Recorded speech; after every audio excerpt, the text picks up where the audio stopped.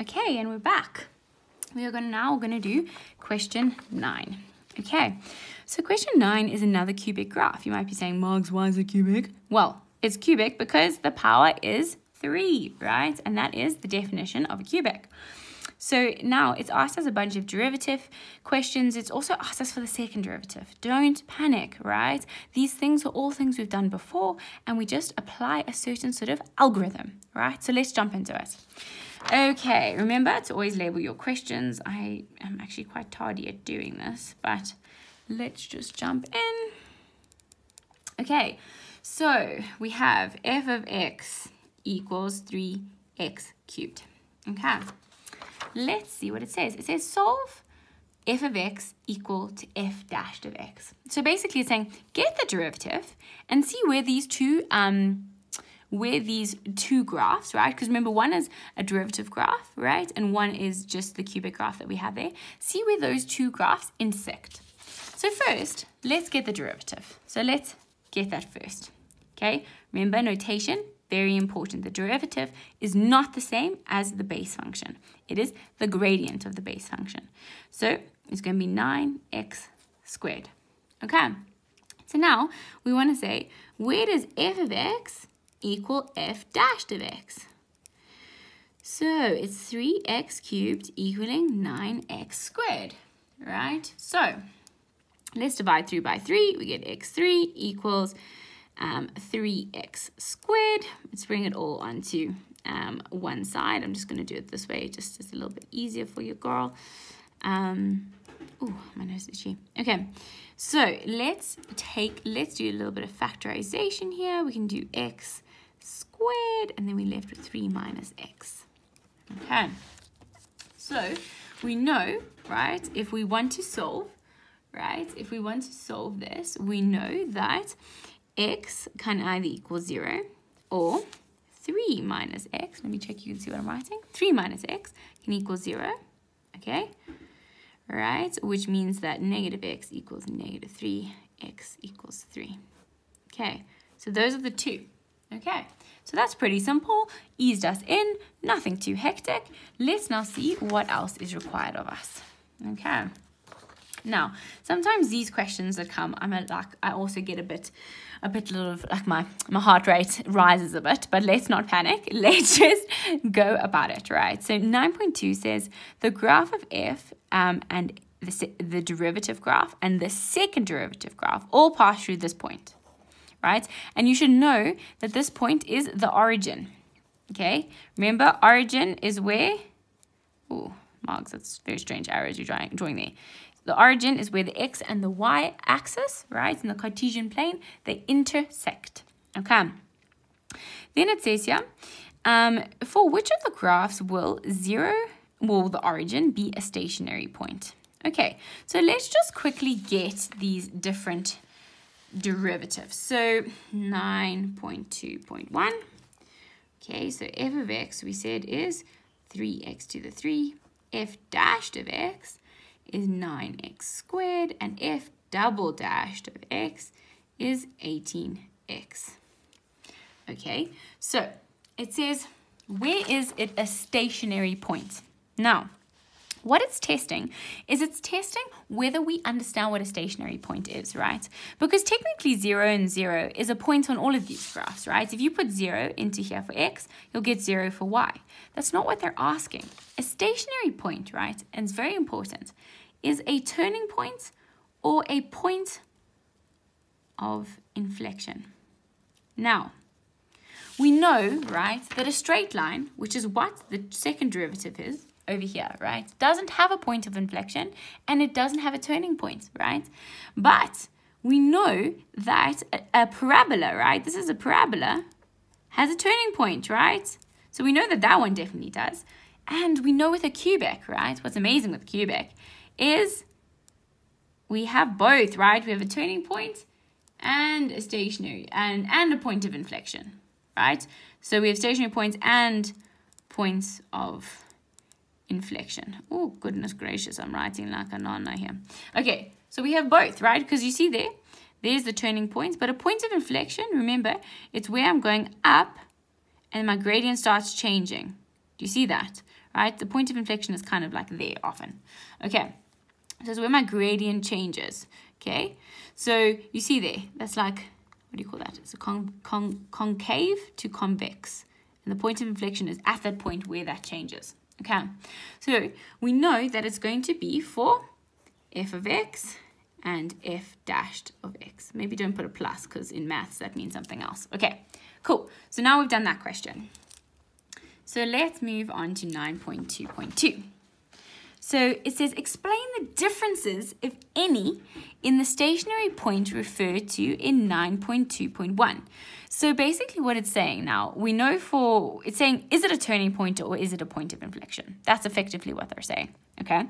So we need to figure out for the parabola, okay, and for the um, cubic, whether this point at the origin, right, is a point of inflection or if it is a um, turning point, right? So we know for f dashed of x, okay, right, we know that that is going to be a turning point. The reason we know that is because there aren't any stationary points. I mean, there, there aren't any points of inflection for a parabola. So we know for f of x, it's a turning point, right? Don't write TP like me. Don't be a nana. Write turning point out, right? You must always make sure that you're explaining more to your examiner than is strictly necessary. Never assume they know these things. Even though they do, they want to know whether you know these things, okay? So then we need to look at f of x, okay? Now, so what we want to do is we want to look at whether this at um sorry at 0 and 0, right? We want to know if it is a point of inflection, right? We want to know if it's a point of inflection or a turning point.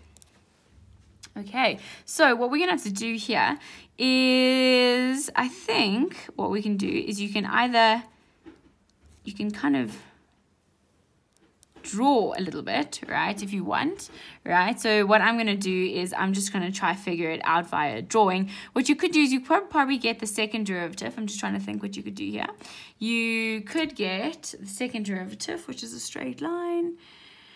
Yeah, I think, yeah, I mean, it's one of those things where you have to actually kind of trial and error it. I think you can possibly use sort of algebraic means if you want to. Um, I can't actually recall them right now, so I'm just going to go and draw it. You might not have time to do this. That's okay. Just put a star here, come back to it later. Don't panic. Okay, cool. So we're drawing, um, what are we drawing? We're drawing the cubic, right? So we're drawing this guy. So I'm just going to sub in one, 0, negative 1. Okay, so we know at negative 1 is going to equal negative 3. Okay, and we know that at um, 0 is going to equal 0, and at 1 is going to equal 3. Okay, so I would tend to think it's a point of inflection because, look, so it's going to go like, ooh, look at us. It's a point of inflection. Okay. A point of inflection. So it wasn't too difficult, right? So here it's not a, a turning point, it is a point of inflection. Okay, cool, perfect.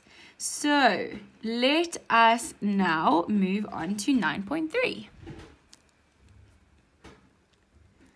Okay, so it says determine the vertical distance between the second derivative and the second, I mean the first derivative and the second derivative at x equals 1. Okay, so now you could be thinking, what is going on here? So we're going to say the distance, right, is going to be your f of, um, what do we say? The f, the distance. So I'm just going to say f first derivative minus f second, f, what am I saying? f of the, I'm just going to say the second derivative because the words seem to be failing your girl today. Um, okay, so we're going to do this Okay, perfect. Now let's just sub this in. Okay, so we know that this is going to be 9, 1 minus 18, 1. Okay, and that equals negative 9. Now, importantly, guys, we are talking about distance. Distance can never be negative. What does negative distance even mean? That doesn't mean anything, right? So we actually say the distance, distance equals 9 units. You can say units if you want, right? I generally like to put something with um, like some form of measurement with distance because when we are talking about distance, we want to put a measurement because it is something that has a measurement, okay? So never ever leave distance negative. That makes no sense. Like if I'm going to my friend's house, I can't be like, yeah, I'm traveling negative five kilometers. Like that makes no sense. No sense. Regardless of the direction that I'm going in, I will, or it will always be positive. Okay, so that's 9.3. That was actually really easy. Solidly done. Okay, let's now move on to 9.4, which is our last question. Sweet of 9. Okay, so it says, for which value of x is f of x minus the second derivative, right, greater than 0? Okay, so let's just write that down. Okay, so we have f of x minus the second derivative of x less than 0. Our first derivative is 3x, I mean, it's not first derivative, just f of x, is 3x cubed minus 9x squared. Okay, let's just, we can just divide 3 by 3, that's fine. x3 minus 3x squared. See, we've actually already done this exercise before, but that's okay. Okay, so we know that it's going to equal 0 when x equals 0. But here, it's said strictly, right? It says, oh, sorry, I'm not dropping my pen here. It says strictly less than, not equal to, strictly, strictly less than. Okay? That's really important, right? It's really important that you understand your inequalities, right? So we're trying to get the values of x that are strictly less than 0. But what's important here is regardless of what x we put in for an x squared, it's going to be positive, right? You can put in negative 100 and it will still be a positive output, okay? So this we know is never going to be negative.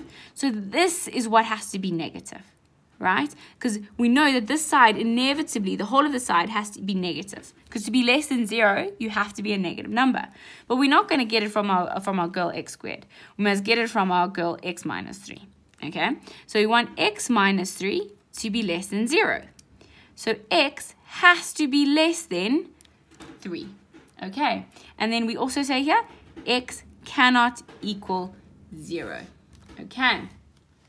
And the reason x cannot equal 0 is because then you actually break the inequality, right? If you put 0 in here, right, then you're going to get 0 on this side. And then it's going to say 0 is less than 0. And that makes no sense. So that's why you have to put this in here to make sure you're actually displaying that you understand inequalities to your examiner, okay? So this is your answer. Put this in. Always good to put in your restrictions, right? You'll actually get a mark for doing this. And that is this question finished. I hope that was helpful. Uh, this one was a little bit of a tricky question.